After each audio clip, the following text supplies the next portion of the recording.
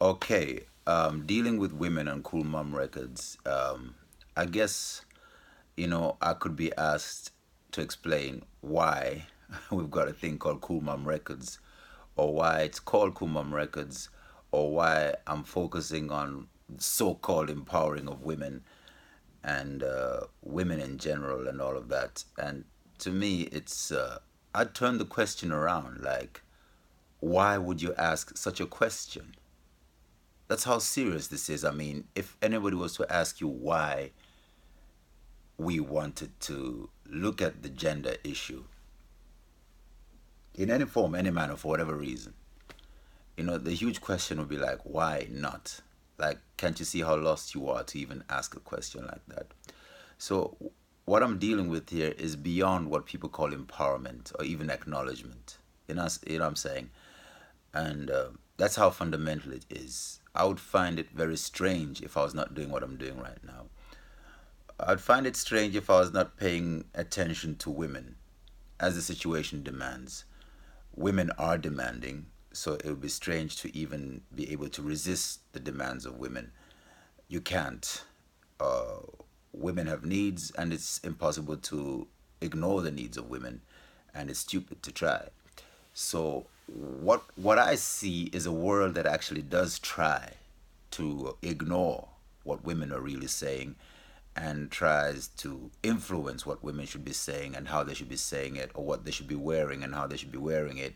How, how they should what they should be feeling and how, how they should be feeling it and all that type of thing. So i see more of a force that works against the course of nature the course of the whole reason why women are here and that is unhealthy because that type of force is not just going to fight against women it's going to fight against all of us and life in general so that's why we've got to be able to nip it in the bud before it gets any notion of being something other than what it is. You know, like that question, which seems like a simple question, like why would you want to deal with women's empowerment when you're a man or whatever? I mean, everybody should be interested in women's so-called empowerment or acknowledging the women's role, not just men.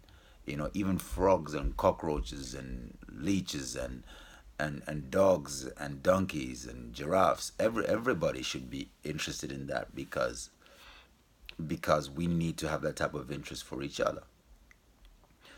Um, so th- this is a huge sociological question, and uh, it is so huge we're dealing with half the world's population. We're dealing with, with a serious force. You know, we're dealing with a presence that we could not deal without. You know, live without.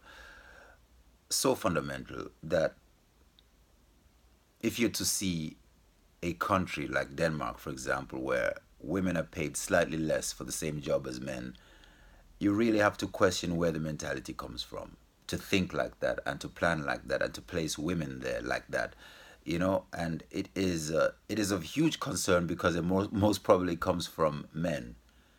So it's a huge problem for me as a man to know that that type of attitude exists because it says a lot about how we think as men you know? And i, I don't want to be that man or that person who, who who endorses that in any form any manner you know? I um, and why? Because I respect myself.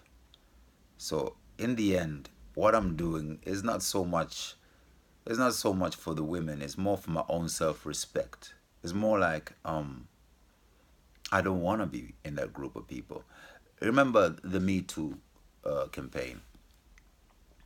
The Me Too campaign was was a huge eye opener for me, and it um, it shook me up it shook me up because up until that point I had certain type of tendencies and certain type of attitudes which I thought were normal. And then as friend after friend on Facebook was saying me too and, and they told stories and, and some of these are, are, are women who I I admire and respect and um,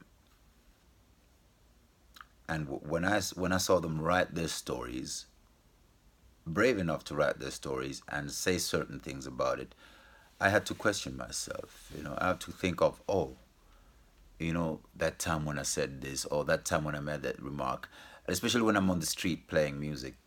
Um, you like a comedian, for example. You know, when you're a comedian, you kind of like pick on people and find um, subject matter, especially when you're improvising music, because you play on the street, you like the interactivity and you like people to kind of like feel that wow, it's a moment of creativity and you're making up stuff. So um, women, uh, sexy girls tend to be, you know, easy thing to deal with, and also it's kind of like a license for you to to say something because well, it's in the format of music or whatever, and you know, I mean, those times when I was in London and you'd have uh, girls coming down the steps to where I was playing music, and it's like you just see you see the legs and you scream legs, legs, and everybody goes crazy because like you're playing this rock metal stuff and whatever, and you're in the middle of something serious, and then you see the legs and you go legs, you know, it's kind of like comic, but it's also on the verge because you really don't know uh, whether the girl uh, is happy about that. I mean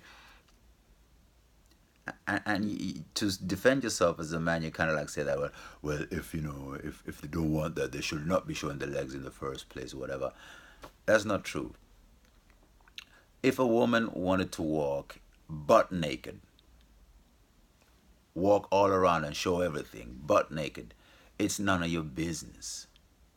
You, it don't give you a license to to to stare too long, to look, to touch, and to make any kind of of comment because that is her body and this is her planet you know? So when you're able to see that type of respect and and to kind of like give it to others then you automatically are creating that type of respect for yourself too you know?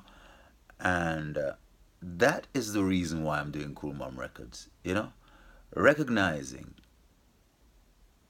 um, what we can do as men in order to actually have a planet where women have the space. The space to decide, even on our most important decisions as men, because Cool Mom Record gives that kind of structure where um, things have to be approved by women or it has to be run by them. No matter how big it is, it must be run by them and they must come and say that, hey, look, you know, this is good or this is not good, you know. Um, having working with that type of thing you are actually redeeming yourself. So i mean i'd say to all the men who are involved in cool mom records that this this is a you know we're dealing with redemption songs as, as bob marley said redemption times. This is a redemptive activity for us as males to be involved with Cool Mom Records, to be involved in a structure that's going to say, we're going to give our very best as a man to a structure, but we're not going to run run off with the decisions. We're going to say, look, before we go ahead, let the women have a look at this and say whether they should go ahead or not. You know, and I think it's very important that women are given that. You always check with the wife. I don't think I don't care how big you are, how important you are um, the CEO or whatever and everything, you know, I mean, everybody knows that you gotta go home and check with the wife, and then what the wife says is really what's gonna matter. And we need that to be central and fundamental to our society and to all our business activities, all our decisions, political decisions, and everything. We need that because I mean that the the women's decision is is what nurtures us. Okay, so talking about the same thing with the with a young lady the other day, she was like, well, you know, she kind of like shut my thing down and goes like, um, you kind of like saying that women are better than men and better decision makers than men, where, whereas people are just as bad. You know, I mean, whether the men are, men are female, male or female, they're, they're just as evil and just as good. So it's, it's not necessarily going to be a best quality, um, best quality uh, decision because it was done by women. You know, uh, and obviously she's right and also the whole notion of saying that well women will not really send children into war and whatever but you know women are also very jealous creatures and they just might want to they just might want to send an army to go deal with the women on the other side of and the other country you know what i'm saying? So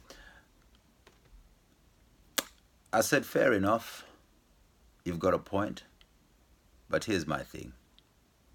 We haven't tried this yet it hasn't been tried.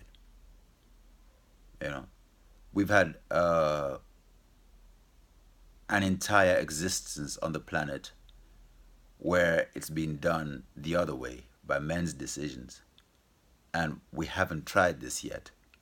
And looking at the challenges we have and the imbalances in the world, we need to give it a chance. And we need to give it like the strongest chance we can because if at any point we adopt the idea or the notion or the statute that we are equal as human beings, then it's time to really practice and institutionalize that equality. You know, and that's what Cool Mom Record seeks to do, and um, that that's as simple as that, really. You know, so it is based on. I would not say women empowerment. I hate that word. First of all, no person really has the power to empower somebody else because I mean, everybody's subject to heart failure. Everybody can be subject to heart attack. Everybody can be subject to you know life. Life as we know it, as it flows through our lives, our, our veins and everything. Who empowers us to live? Who empowers us to think, to breathe? you know that same empowerment is the same for everybody so the true empowerment in life in life is life itself and the source of life. So that illusion of women empowerment you know it's one more of those sicknesses those cancers that we build to have some kind of like conditioned perspective on on reality. It's a sickness it's a madness and it leads to war because you have a basis for perception that is false.